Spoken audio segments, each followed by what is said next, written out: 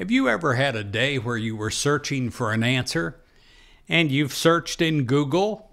Google doesn't know. You've asked Alexa, and Alexa says, I'm sorry, I don't have an answer for that.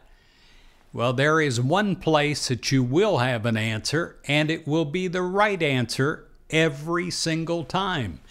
And it will be an answer sometimes that you or I, well, we don't want to hear because maybe it will be a complete reversal of the way we're going. But if we follow, our life will be great. I pray that if you've been searching here and there for answers or for inspiration, that there is a place where you can find it. And you realize this constantly. It's your set point, it is your anchor. You can go to God at any time, and you can have a direct answer from God, just the same as I do, or any minister, any priest, any rabbi, because you have a direct connection to God.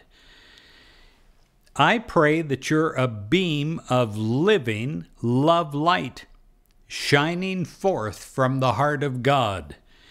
And all the light that you seek, the illumination that you seek, that you've been waiting for, that it pours forth from within your mind, from within your heart, from within your spirit.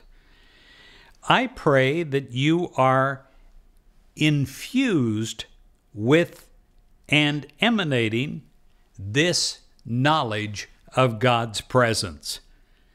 I pray that the light of God is shining in and through you, that it comes through you first as a warm and a healing presence, and that it provides you with a glow inside of your soul. This light always points you in the right direction. It always leads you in the right path, it, it empowers your footsteps along the right path for you. The answer will be for you, not for somebody else, for you, custom.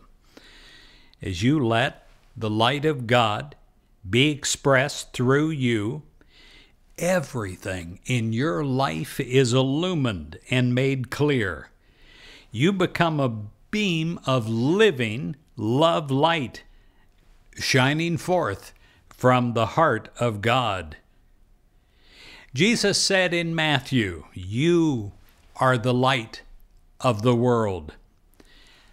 Let your light shine.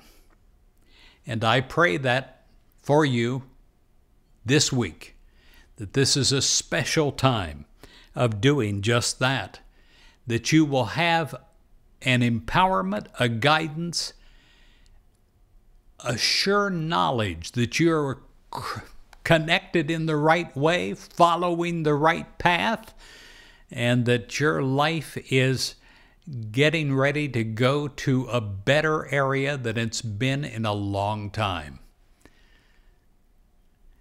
God bless you.